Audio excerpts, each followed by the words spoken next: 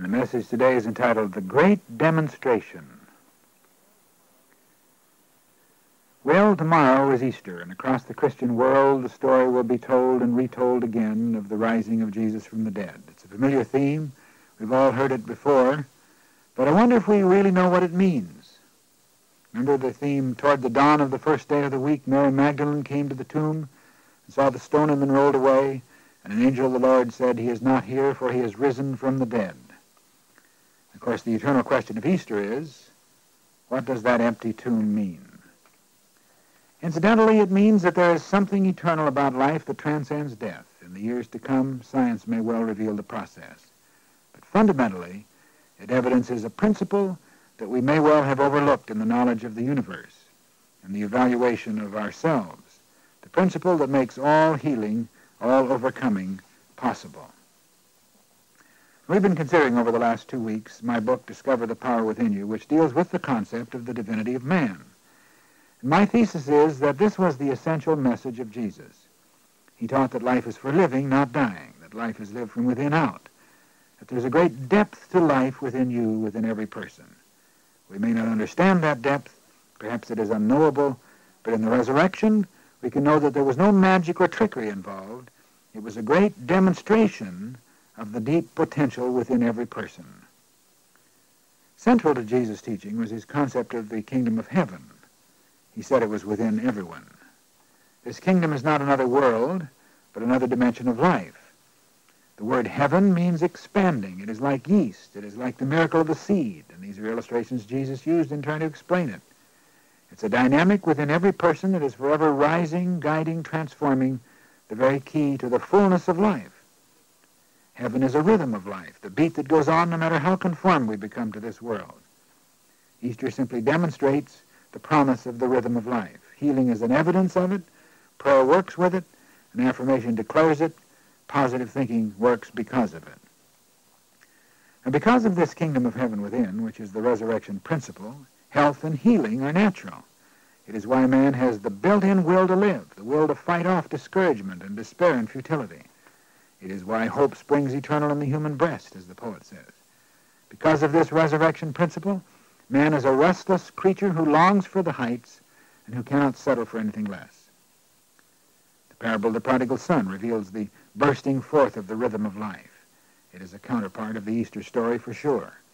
Here he was out in the far country living riotously, involved in a life of sensuality and materiality, and then suddenly he becomes a new person. What happened to him? Life happened. The innateness of life broke through as a seed breaks its shell and germinates and grows into the flower it can be. We should remember that the first urge to run away into the far country was also the activity of this same force within. It was the urge for growth and expansion. He had to run away that he could come back. It's important to understand that Jesus was experienced life happening to him, not only on Easter morning, but all the way right up to the seeming end. He had caught the rhythm of the upward progressive sweep of life.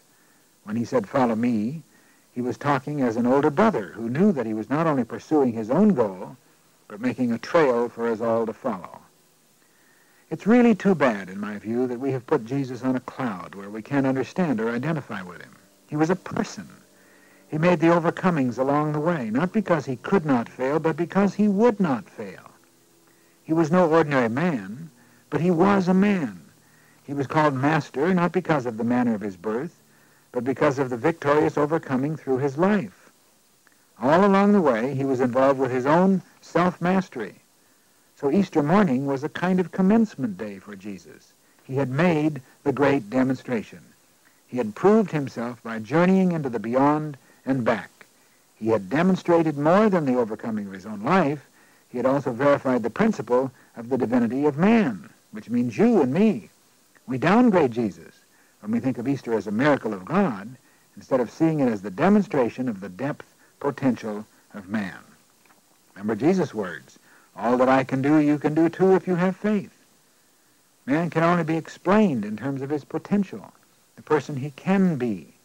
Despite the confused religion about Jesus, with its rituals and creeds and holy days, Jesus simply taught and demonstrated what man can be.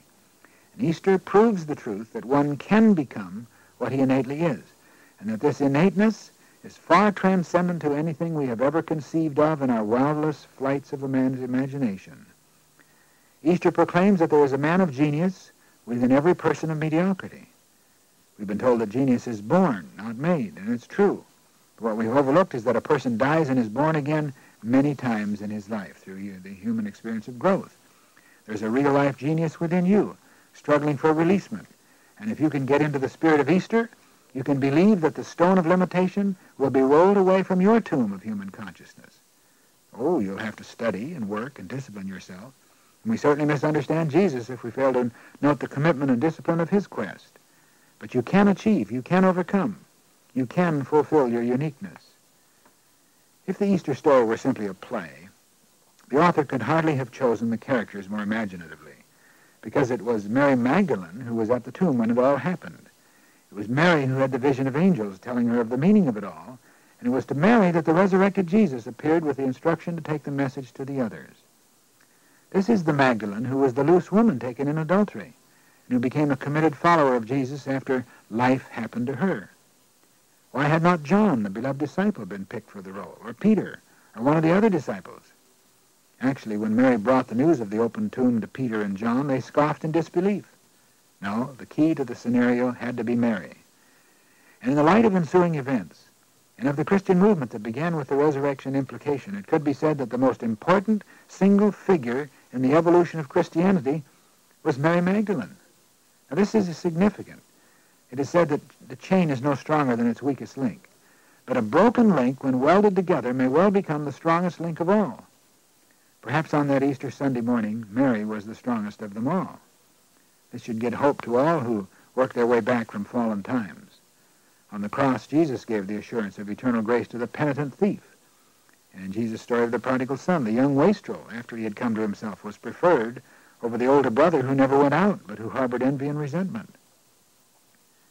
Note also the scripture account that says, toward the dawn of the first day of the week, toward the dawn. The human tendency in times of trial and misfortune is to look toward the west, to indulge in regrets from that which is fading from sight. The disciples were looking toward the west. Jesus had fired them with enthusiasm and hope, but it was all over now, for hadn't they seen him die? Significantly, the word Easter contains the word east. In Oriental lore, east is a symbol of the within, of transcendence. Looking to the east means looking away from appearances, looking to God. Easter should be a time of illumination. It should be, in a sense, a sunrise service when the light of a new day reveals new hope, new promise, a new awareness of potentialities. In the Upanishads of India, we read, Lead me to the other side of darkness. This is the great need of mankind today. We have been living in the consciousness of the human, the material, the surface of life. We've become too westernized. We've accomplished great things with the intellect, but without the understanding we've become possessed by our possessions, slaves to our creations. We need to look toward the dawn, to the east, to the within, to essences of life that are non-material. Mankind needs to come to itself, to roll away the tomb of limitation, because in a very real sense we become mesmerized with that which is not really life at all. The eternal message of Easter proclaims today Look toward the dawn. Let Easter happen to you. Turn about and face the sunrise, the light of a new day. Let the resurrection principle rise up in you, that you may rise triumphant over every trial. This is what Easter is all about. This, in a sense, is the concept of what Jesus taught and what his life meant. There's a poem that's a favorite of mine, and it's become traditional to use this poem on Easter. It's a poem written by my dear friend James Dillet Freeman at Unity headquarters. It goes like this. Small bulb, I hold you, wrinkled, brown, and cold, in my hand. I would understand the power in a flower, how from death only life can come. Oh, what a reaching for God there is in clay and clod. I feel you, earth, straining for birth. Splinter my rock of doubt, and let Christ out. Put forth your tenuous pale root, your fragile trembling shoot, your frail green leaf, your blossom's brief perfection, trumpet of resurrection. Small bulb, your bloom rolls back the stone from the tomb.